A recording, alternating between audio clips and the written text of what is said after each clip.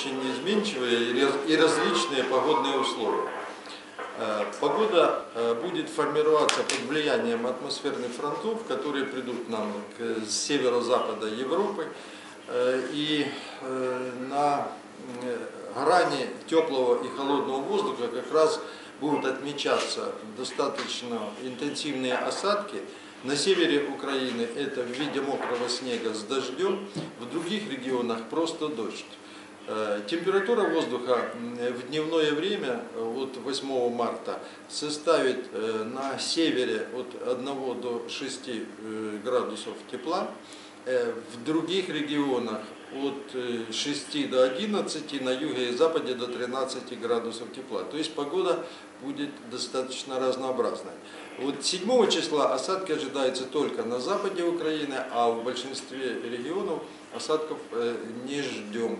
Э, утром 7 слабый мороз, э, где-то от 0 до 5 градусов, и дневная температура от э, тоже так от 2 до 7 градусов тепла.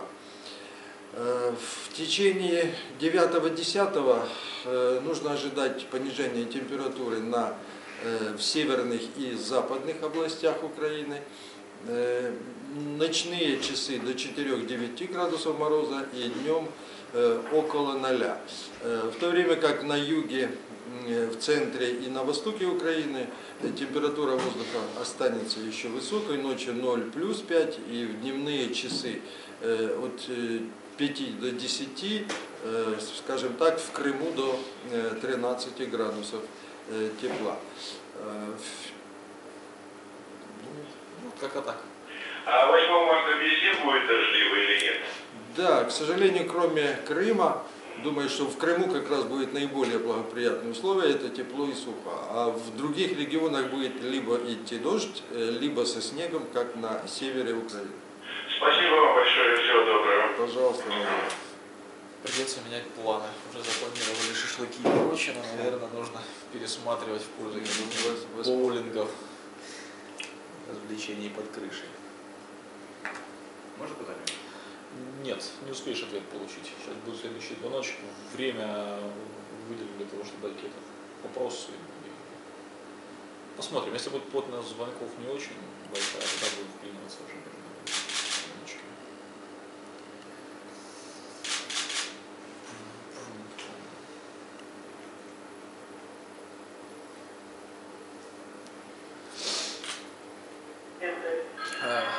Добрый день. Здравствуйте. Прямая ли? Алло. Назовитесь, пожалуйста, задавайте вопрос. А, Виктория Тилован, город Киев. А, вопрос следующий. Объясните, пожалуйста, с чем связана такая снежная зима, как была в этом году? Ну, во-первых, начнем с того, что таких снежных зим у нас не так уже много. Скажем, немножко была э, зима 2010-2011 года, потом в этом году. Перед этим у нас были очень мягкие зимы, не считая зимы 87-88 года и 2006 э, года. Поэтому э, зимы у нас будут разные. А вот объяснить причины, почему так много осадков, вот в Киеве, например, в эту зиму э, выпало рекордное количество снега, например, в декабре только где-то в два с половиной раза выше, чем месячная норма осадков. Вот, и причина этому, ну, все считают, что главная причина это те климатические изменения, которые происходят э, во всем мире и не только в Украине. Э, вот, э, и они как раз проявляются через Э, увеличение, скажем, перепадов температуры, через увеличение интенсивности осадков. Но все это происходит на фоне, в общем-то, повышенного против нормы температурного режима, который отмечался и отмечается и будет отмечаться во все зимние периоды ближайших лет. Ясненько. Спасибо вам большое. Вы сказали, выпало количество, рекордное количество осадков. За какой период? Я сказал за декабрь.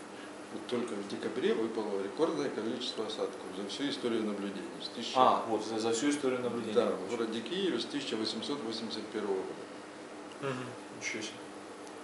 Мне почему-то казалось, прошлая зима была более снежная. То есть помню, у нас были тогда катаклизмы такие, что как бы снег и не вывозили, не успевали, а в этом, ну, как бы, Ну просто в этом году условия его накопления были немножко другие. Он был более влажный. а, таял быстрее. И, естественно, он таял, уплотнялся, поэтому не все так.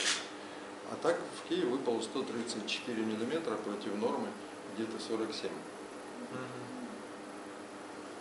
Ну, а прогнозировать, э, насколько я понял, невозможно, да? То есть вот вернемся к этому. Алло. До- добрый день, прямая линия, назовитесь, пожалуйста, задавайте вопрос. Алло, добрый день, меня зовут Алина Матовец, я из города Сумы. У меня такой вопрос к Николаю Ивановичу. Стоит ли ожидать э, паводков весной? И, и второй вопрос также, вот если э, меня интересует, какие реки могут выйти из берегов? Ну, если интересует э, Сумщина, то ничего серьезного на территории Сумской области мы не ждем. Э, Снега э, там не так много, вот поэтому вода может выходить только на заплавные территории, что в принципе является природным явлением. А вот осложнение паводковой ситуации можно ожидать на территории Черниговской области в трех районах, э, связанных вот с водами Десны с одной стороны и Днепра с другой стороны. Но это, э, как мы говорим, окружение водой населенных пунктов, э, некоторые ну, прекращение движения транспорта, и это все ну, более-менее реально. Такая же ситуация ожидается на э, правых притоках Припяти и на самой Верхней Припяти в пределах э, Волынской, э, Ровенской и частично Житомирской областей. В других регионах чего-нибудь такого опасного, представляющего угрозу для территории, для населения, мы не ожидаем. Спасибо большое за ответ. Пожалуйста. А эта информация поступает сразу куда-то в МЧС, то есть э, или куда-то вот... Обязательно вопросы же я лично докладывал э, на заседании правительственного штаба по э, половодью, по всему этому делу. Потом два раза, потом в нашем э, Державной службе з надзвичайних ситуаций проводили специальные совещания по данному вопросу. Потом все информированы, я думаю, что в достаточной мере на уровне людей, принимающих решения. По крайней мере, неожиданности не будет. А, Добрый день. Добрый день, прямая линия, назовитесь, пожалуйста, задавайте вопрос. Э, Добрый день, я Киевлянка, меня зовут Света. Э, Скажите, пожалуйста, вот такой вопрос. А почему нельзя предсказывать погоду хотя бы на 2-3 недели вперед, чтобы мы как-то могли планировать? И почему вот даже краткосрочные прогнозы, которые делает Укргидромедцентр, часто не сбываются? Вот можно ли хоть какой-то срок, когда было бы стопроцентная гарантия? Ну, погода э, формируется атмосферой. Атмосфера – это такая многофакторная среда, на состояние которой влияет ну, чрезвычайно много различных параметров. Именно поэтому, чтобы учесть влияние каждого параметра, вот, создаются специальные математические модели, которые учитывают это состояние атмосферы и дают, в принципе, возможность, решая эти уравнения, э, прогнозировать будущее состояние атмосферы и уже от состояния атмосферы переходить к э, прогнозу э, погодных условий. Так вот, ввиду того, что не, далеко не всякие факторы в атмосфере можно, э, они, во-первых, очень много совсем неизвестных, и их нужно каким-то образом оценивать. И вот ошибки в оценке уже приводят э, к э, ухудшению качества прогноза. Это с одной стороны. С другой стороны, э, сами наблюдения, которые производятся, они э, даже по факту измерение температуры производится с точностью до 0,1 градуса. И понятно, что если ошибка будет накапливаться, уже на 10 сутки мы будем иметь ошибку в 1 градус. На 15 сутки как минимум полтора. А эти ошибки могут накладываться на другие ошибки, и таким образом э, получается, что э, качество прогнозов ухудшается по мере увеличения заблаговременности. И э, сегодня во всем мире э, метеорологическая наука не двинулась дальше 15 суток, и это считается предел предсказуемости э, вообще в развитии атмосферных процессов и состояния атмосферы. И этот предел, он абсолютно объективен, он обусловлен, скажем, э, существующими мощностями э, вычислительной техники, несмотря на суперкомпьютерные технологии, их явно не хватает для этого дела. Вот. И, э, естественно, э, скажем, состоянием самой э, метеорологической науки и, кроме того, недостаточностью наблюдений на э, таких э, достаточно огромных э, территориях, которыми являются мировые океаны. Мировой океан, э, он мало, э, скажем, э, ну, недостаточно наблюдений на территории, на этой акватории, и это приводит к ху- ухудшению. Ну и кроме того, над некоторыми территориями, такими как, допустим, арктические регионы России, вообще очень мало метеорологических станций, а отсутствие таких станций, конечно же, влияет на качество прогнозов. Поэтому все в комплексе э, не дает возможности в принципе получить стопроцентный результат. И э, ухудшение качества от с- суток к суткам, оно составляет где-то 1-2%, э, но наиболее надежные прогнозы это до 5 суток, которые, э, оправдываемость которых за 95%. э, процентов. Спасибо. А у нас хватает как-то вот техники, мощностей, чтобы погоду предсказывать? Э, На сегодняшний день наши специалисты э, чисто в информационном плане э, ну, вооружены достаточно. Э, То есть они используют те же э, результаты математического моделирования, которые используют синоптики других стран э, в Европе. И связано это с тем, что у нас совершенно открытая система обмена информацией, бесплатная система, вот, которая она, координируется Всемирной метеорологической организацией. И таким образом мы имеем возможность пользоваться английскими, французскими, немецкими расчетами, шведскими, голландскими, американскими, любыми. Вот.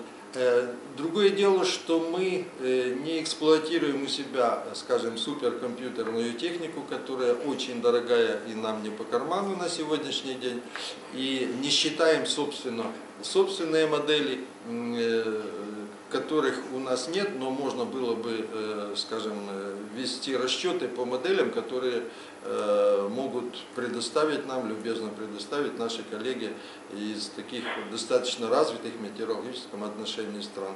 Но это вопрос другой, это вопрос денег и времени. Ну хорошо, спасибо вам, хорошей Пожалуйста. погоды. Спасибо. А какой, ну, есть ли смысл создавать, в принципе, эти модели? То есть, э, если погрешность на 5 дней 95%, достаточно ну, высокая цифра. То есть, э, смысл у нас э, самим, ну, как бы эту модель создавать, если, в принципе, она есть? А мы не собираемся этого делать. Ага. Я как раз думал, мы говорил, не делаем, потому что денег нет. Не-не, мы не считаем. Другое дело считать. А изобретать модель? Нет, они уже все изобретены, причем достаточно качественные, английские, европейские, французские модели, американские неплохие. Их просто нам э, бесплатно передают, пожалуйста, пользуйтесь, но адаптируйте их к своей Второй. территории. Алло. А, Добрый день, прямая линия, назовитесь, пожалуйста, задавайте вопрос. Андрей э, вот беспокоит. Скажите, а правда ли, что вот климат в Украине за последние одни годы вот, э, поменялся? Э, Или же, а данный момент э, наблюдаем ну, какое-то временное потепление, потому что вот зима, зима была хоть, э, хоть и э, э, Теплый. снежная, э, зная, но, но в, в общем, э, в общем э, э, не холодная. Вот. э, И скажите, э, как, он, э, как будет э, вот меняться климат? То, что климат в Украине поменялся, это несомненно. Это подтверждается э, рядом метеорологических наблюдений, которые ведутся в Украине ну, в разных городах по-разному. Есть и 150, и 160 лет э, наблюдений. И это все подтверждается, потому что за последние э, 20-25 лет, э, скажем, средняя температура зимнего периода в Украине выросла ну, скажем, для января где-то э, на больше, чем на 2 градуса, для февраля чуть-чуть меньше, чем на 2. Э, э, Таким образом, вот декабрь изменился э, мало. Вот. Таким образом, э, имеется явная тенденция, причем достаточно стремительная, к э, повышению среднегодовой температуры, к повышению температуры зимнего периода и температуры летнего периода. Э, Переходные сезоны, э, там этот, эта тенденция выражена меньше.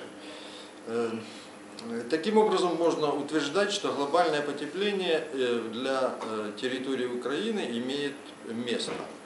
Другое дело, насколько вот оно будет длительным, э, то здесь мы не можем гадать, ведь для э, оценки э, будущих изменений климата и, и текущих, э, скажем так, э, создана межправительственная группа экспертов по изменению климата, которая работает при Организации Объединенных Наций в системе Всемирной метеорологической организации, и она ежегодно выдает отчеты э, вот, о состоянии глобального климата и э, его изменений и последствий, э, к которым приводят эти изменения. Э, Так вот, эти оценки как раз говорят о том, что э, в ближайшие 50-100 лет э, не следует ожидать, э, скажем, приостановления глобального потепления. Э, Приходится верить на слово, поскольку э, других авторитетных таких вот, э, скажем, источников их просто нет, а отдельные ученые имеют совершенно э, противоположное мнение о том, что глобальное потепление приводит к таянию ледников, которое приводит к охлаждению воды Мирового океана и которое приводит к последующему похолоданию. На это все гипотезы, э, но пока эта тенденция, она сохраняется, причем очень стойкая, устойчивая и крутая тенденция к возрастанию температуры. Э, Долго ли, недолго ли, это вопрос десятый. Если в течение ближайших 50 лет нынешними темпами на территории Украины будет происходить повышение температурного режима, э, то мы скоро превратимся в такую тропическую страну, ну не скоро, а лет через 50. И если э, наши отрасли экономики, в первую очередь сельское хозяйство, энергетика, транспорт и другие, не будут адаптированы к тем изменениям, которые уже произошли и которые происходят и будут дальше наблюдаться, то и через 50 лет потепление остановится, то есть стабилизируется температурный режим, то это уже будет никому не интересно, поскольку э, убытки от, э, скажем, таких климатических изменений, они просто их сегодня оценить даже э, невозможно, но они в любом случае будут огромны для значительной части населения Земли. Понятно. Большое поводу того, что бесплатно обмениваетесь информацией, то есть откуда такой альтруизм, то есть в чем, в чем ссор, в чем А суть? соль, соль в том, что погода не имеет границ, и это не политическая структура. А, Значит, э. Давайте, ну давайте ответим. Добрый день. Да, добрый день. Добрый день. А, Катя Киев. А, Скажи, пожалуйста, все вот говорят о глобальном потеплении, много статей на эту тему, да, но последние зимы в Украине хоть и не очень холодные, но вот э, довольно снежные. Как вы это объясните? Э, Ну, во-первых, э, никто никогда не говорил, что глобальное потепление и потепление, особенно выраженное в холодный период года на территории Украины, оно не несет э, за собой выпадение снега. Нет, еще температура не повысилась до тех значений, при которых снег в принципе будет выпадать мало.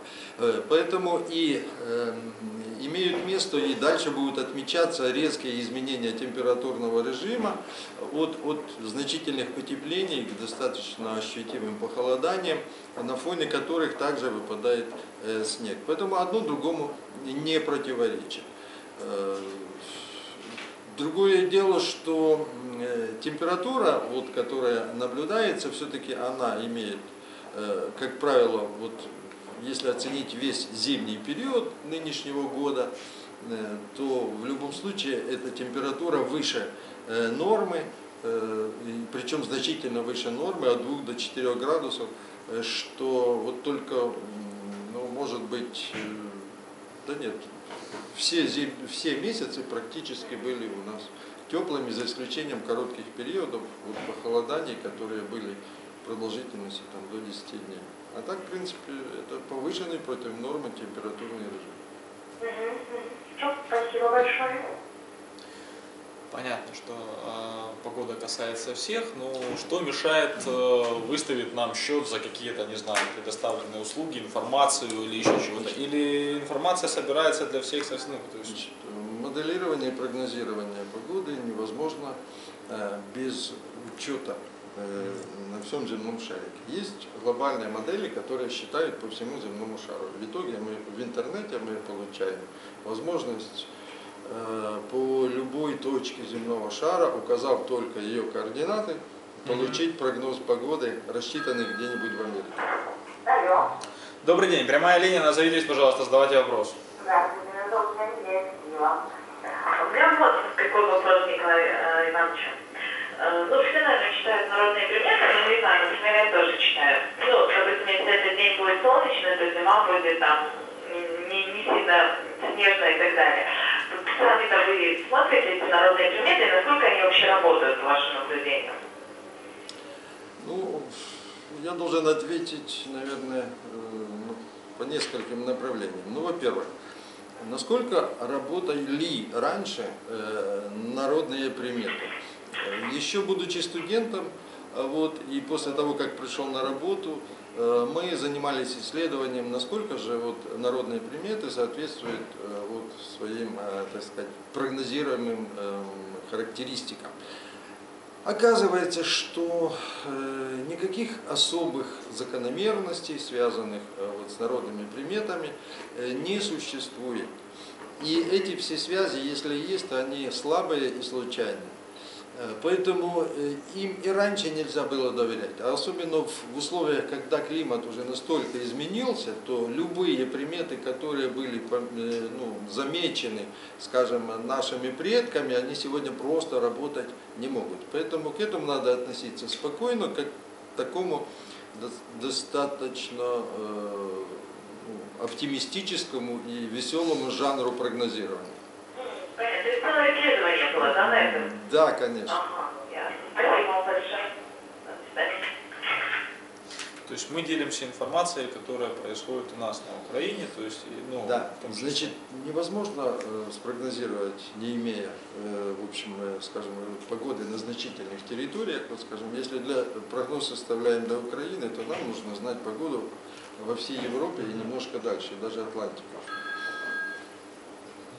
Добрый день, прямая линия, назовитесь, пожалуйста, задавайте вопрос. Меня зовут Александр, я из Киева. Вот такой вопрос Николаю Ивановичу хочу задать. Ну, в связи с тем, что изменяется климат в Украине, в частности, вот в Киеве, э, какие, может, подскажете, какие новые садовые культуры стоит пробовать высаживать в пригороде Киева? Николай Иванович. Спасибо большое за вопрос. Ну, во-первых, я ж не агроном, я метеоролог. Вот. Хотя э, в обязанности Украинского гидрометцентра э, входит оценка состояния развития и прогнозирование урожайности и валового сбора основных сельхозкультур. Но вот э, по садовым как-то у нас оно ну, не практикуется. Хотя в целом состояние, за состоянием садов, там где есть возможность, наши метеостанции наблюдения проводят, особенно периоды э, такие сложные, когда очень сильные морозы, нужно оценивать, насколько пострадали те или другие вот, э, насаждения, но Что касается, что выращивать в э, условиях изменяющегося климата, мне, конечно же, трудно посоветовать. Э, Можно просто использовать какой-то подход. Вот, скажем, э, раньше, э, скажем, на э, широтах, вот скажем, э, в пределах э, севера Николаевской, Кировоградской областей, э, вот, э, какие там выращиваются такие садовые, которых э, у нас нет. Скорее всего, что они одинаковые, но если есть какие-то другие, видимо, тут нужно подбирать сортовой состав. Вот сортовой состав действительно можно подвинуть дальше на север, тот, который а вот раньше культивировался на юге. Но не очень далеко, ну, думаю, километров на 100. Белый картофель. Э, Картофель, э, картофель э, любой, это не вопрос. Ну, я мог бы больше ответить по зерновым, например, что если э, еще лет э, 40 назад у нас в Украине, э, в северных регионах Украины нельзя было получить, э, например, э, нормального качества э, зерно кукурузы. Хотя урожайность ее могла быть обеспечена, но э, качественного семенного материала э, в северных э, регионах Украины получить было невозможно из-за недостатка тепла. То сегодня на всей территории Украины, включая крайние северные ее точки, можно выращивать кукурузу на зерно, тобто как семенной материал. Это говорит о том, что у нас количество, скажем, теплообеспеченность у нас на таком уровне, что позволяет вот делать даже такие вещи. Ясно, спасибо большое. Пожалуйста. В продолжение вопроса, ну не могу не задать, и уж больно в тему. э, На сайт пришел вопрос. Банани вже саджати чи помідори в нас ще вродять? Помню, тему бананов мы затрагивали и в э, прошлом. Ну да. Наши визиты, но мы никуда мы от не денемся сегодня. Э, Ну, то, что, скажем, культивирование риса э, однозначно будет продвигаться Подождите дальше. чуть-чуть. Однозначно будет продвигаться дальше на север, э, вот, в Украине, и э, его количество выращивания этой культуры, то есть ну, сбор валовый, он будет расти с каждым годом, это несомненно. Э, Вот. В отношении таких э, бананов и других, то, конечно, это пока проблема, еще не время, но все впереди. Ну, лет 50, в общем, Ну по да. вашим. Ну, да. Э,